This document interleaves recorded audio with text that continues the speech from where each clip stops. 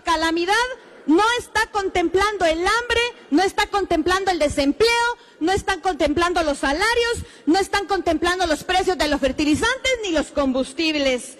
Para las tormentas Zeta y Iota, ahí estaban también aprobando otro estado de calamidad y vayan a ver cómo está Alta Verapaz y Zabal. Ninguna inversión se hizo en esas comunidades.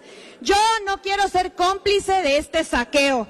Si en realidad quieren hacer algo bueno y bien hecho, ¿por qué no modifican el artículo 7 del decreto 21-2022 y destinen todo ese dinero que están destinando a todas estas empresas en este momento para construir e invertir en los puentes y en las carreteras que están quedando colapsadas. Ahí tienen suficiente dinero nada más con una reforma y un poco de voluntad.